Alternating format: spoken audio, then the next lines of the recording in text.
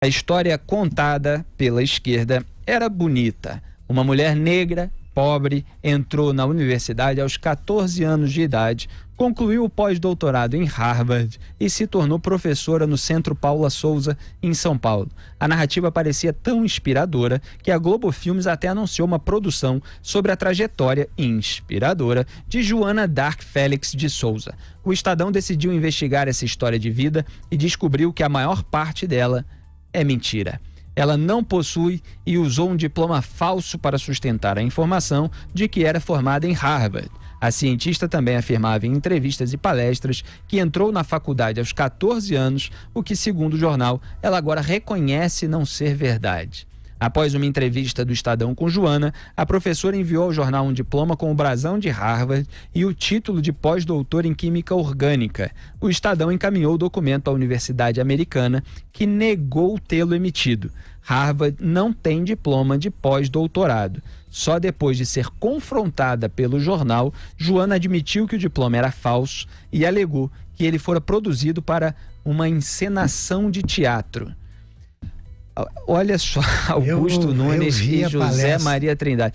É, eu já falei várias vezes aqui nesse programa que há segmentos da sociedade que são muito adulados pela esquerda, e aqui a gente trata todo mundo por igual, porque acredita que as pessoas merecem ser tratadas igualmente, sejam elas negras, brancas, gays, heterossexuais, índios, é, todo mundo precisa ser tratado é, com respeito, principalmente quando as pessoas estão cumprindo as leis. Agora, esse, essa adulação excessiva acaba criando é, uma percepção e uma narrativa de que não existem pessoas que agem de má fé nesses segmentos da sociedade.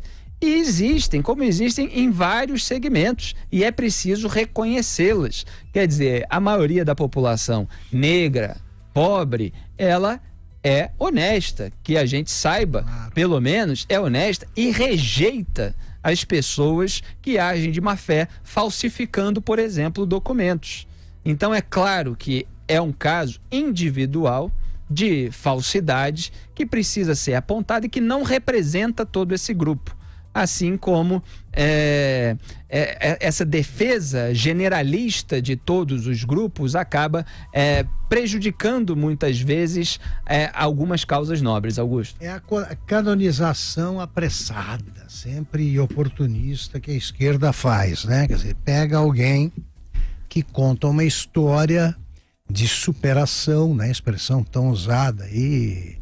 E aí passa a ser o modelo que só não se aplica a, toda, a todo grupo social, racial que pertence, porque por causa da maldade, da perversidade dos brancos capitalistas.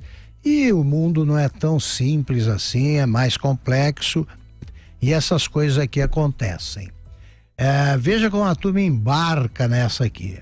O, os repórteres do Estadão que checaram a história eles começaram a achar estranho, é, começaram a achar que alguma coisa errada acontecia no momento em que perguntaram a idade dela.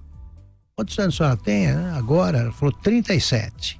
Aí eles foram verificar a narrativa, foram comparar o que ela, o que ela dizia numa palestra que eu ouvi, como tantos aqui, porque isso viralizou, e não cabia a, o, a, a, trajetória dela não cabia em 37 anos, mesmo ela dizendo que se alfabetizou com três, foi alfabetizada com três anos, entrou na escola com quatro, etc, etc. É o seguinte, é, o Roda Viva já tinha entrevistado, não vai poder, não vai pro ar, já entrevistaram, ninguém checou nada. Agora o Estadão descobriu. Então tem um programa gravado, vários convites já tinham sido feitos a ela e agora estão suspendendo e recuando. Os brasileiros, os jornalistas estão descobrindo que é bom checar. É bom checar. A história dela é especialmente estranha porque ela tem uma trajetória boa que podia dar até uma boa palestra se ela se limitasse às verdades.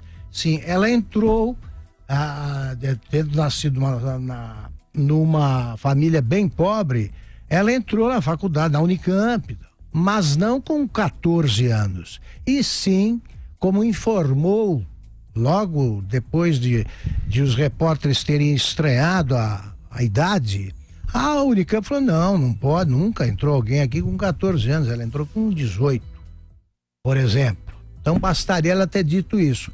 Harvard, ela nunca esteve lá, não fez isso, e no entanto ela faz um trabalho lá em Franca, onde mora, que é um bom trabalho. Então, há também aí traços de mitomania. Porque se você assiste claro. ao vídeo, ela fala com uma convicção que ela estudou em Harvard, que é a própria do, do mitômano, né? Você acredita naquilo que você está falando. Eu e conheço jornalistas ex-presidentes que são assim. São assim. são assim. O Lula acha que a, o Lula, a Dilma, a Dilma tem visões espetaculares. O Lula, ele acha mesmo que ele é um novo Jesus Cristo, é, Mandela, Tiradentes, ele acha. É um outro tipo de mitômano que tem o pé no chão para roubar. Então, essa moça, é, é, ela é aquele negócio que você constrói, né? Um mito que você constrói, exagera e embarca, deu no que deu. Zé Maria, o seu comentário, você caiu a conexão na hora que você ia completar o raciocínio sobre a pauta anterior. Vamos lá. É, tá.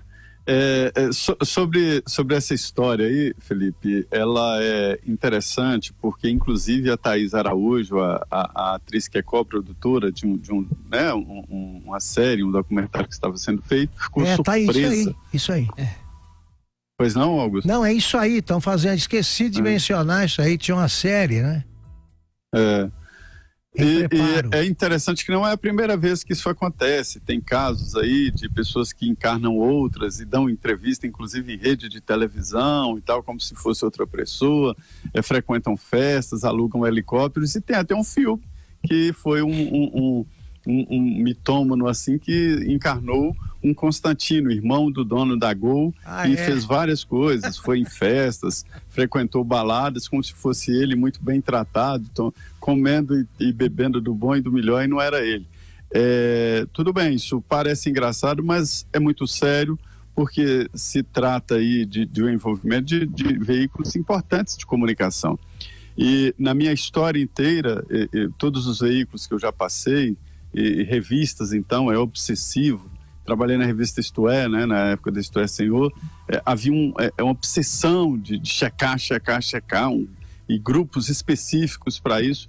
Eu acho que está na hora de voltar. Tudo bem que a internet é notícia rápida, né? Mas para se contrapor às fake news e para se contrapor exatamente a esta informação sem responsabilidade, é que os veículos tradicionais de, de comunicação têm verdadeiramente esta obrigação.